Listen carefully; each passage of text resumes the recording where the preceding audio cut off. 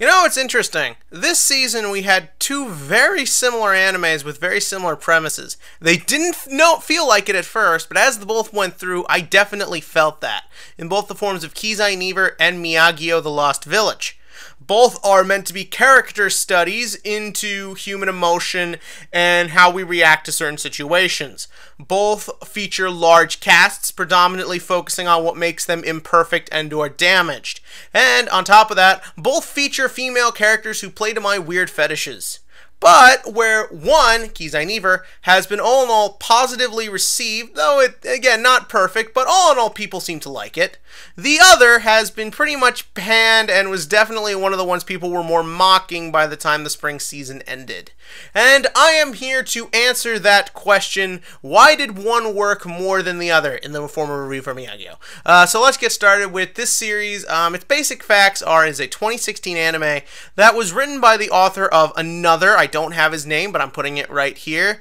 And so this series got hype around it just based on who made it. Now, I have never seen Another, and I don't want to because it looks scary. Don't make me!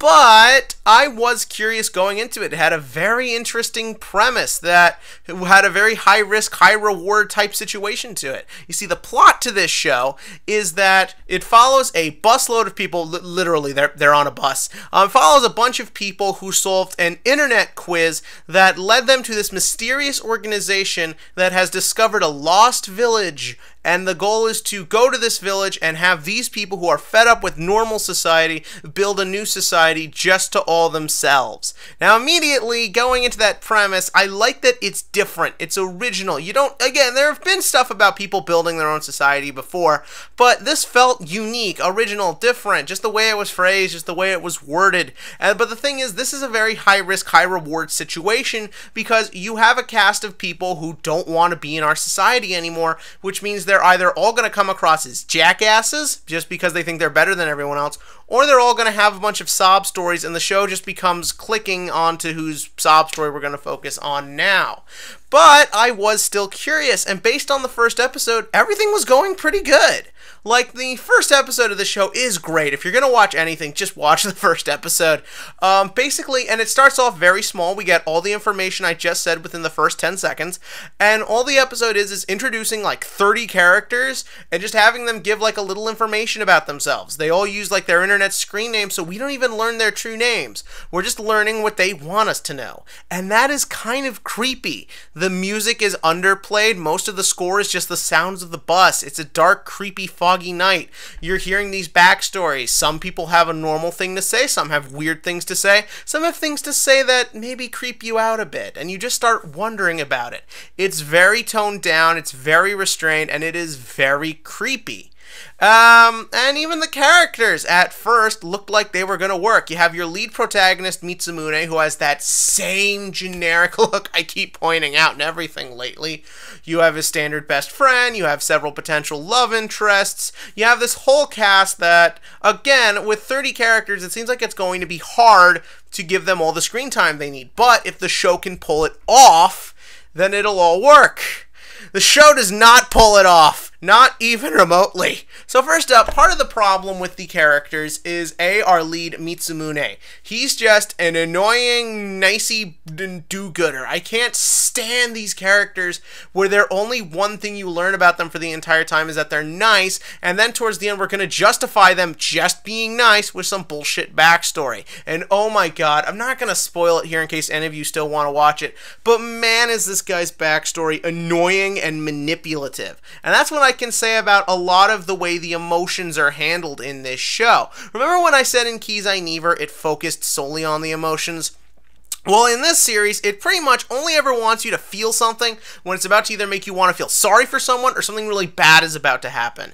That's called being emotionally manipulative. In Kiznaiver, whatever anyone was feeling was just part of the situation that was happening.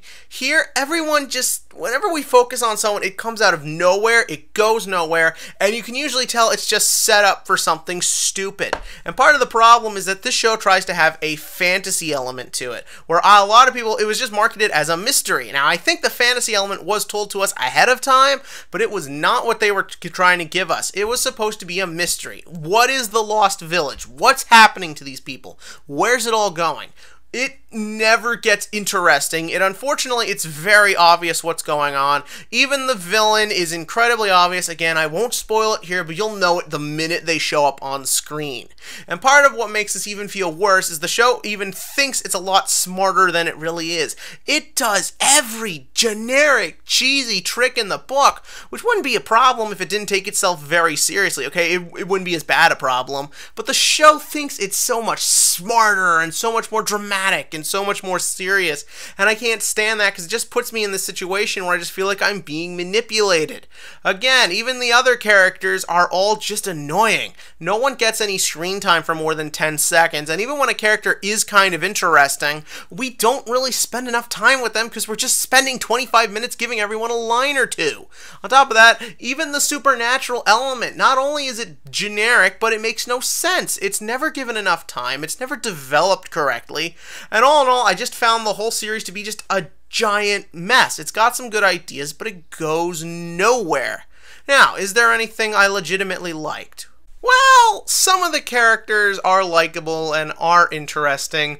Um, our leading lady isn't bad, um, although by the end of the series, her character makes absolutely no sense. Um, you've got a. Okay, this is gonna sound weird. This is a little bit of a tangent, but I want to say this.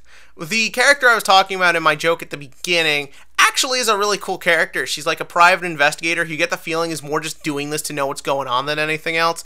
And she is she's not fat, but she is heavier. I mean, let's be real here. Most women in the media, rather animated or live action, are meant to be attractive, sexy. And the thing is, they're often made out to be very thin. Well, as a chubby American, I kind of wouldn't mind every now and again seeing more women who look kind of like my kinds of people. And I liked it because she even felt like they still gave her like some attractiveness to her. So all in all, I liked her. The bus driver is actually super interesting and a super well written character. Too bad he was wasted on this show. I also have this little girl named Lion who I thought was also really cool and really neat. But once again, she gets no screen time. All the actors are trying really hard and some get across some good lines and some funny jokes every once in a while, but it's all wasted. And the last character I'm just going to bring up real fast is this guy. He's not interesting, he's not likable or anything like that, but he's so wacky and over the top that every time he's on screen, he's like the 8,000 pound gorilla in the room. You just stare at him because you don't really know what else to do, so I'll give it points for that all in all, this really could have been a good show. There's a, several interesting ideas at play. Oh, and the score is very nice. But at the end of the day, it chose to execute itself in the most generic way possible, really didn't do anything interesting. To make this show work, I think you really needed a director or writers who know how to deal with weird characters. Someone like the guy who did Kiznaiver most recently. Or if we're going big, let's go with the guy who did Durarara. People who know how to work with these very weird, very off-putting, and sometimes disturbing characters. You need that for a show like this, but unfortunately, you just got stuck with a very generic execution, and all in all, it's one of the more forgettable shows of this season. Unless you're looking for something that's like so bad it's good. I have heard a lot of people who had a good time just laughing at the stupidity of this one.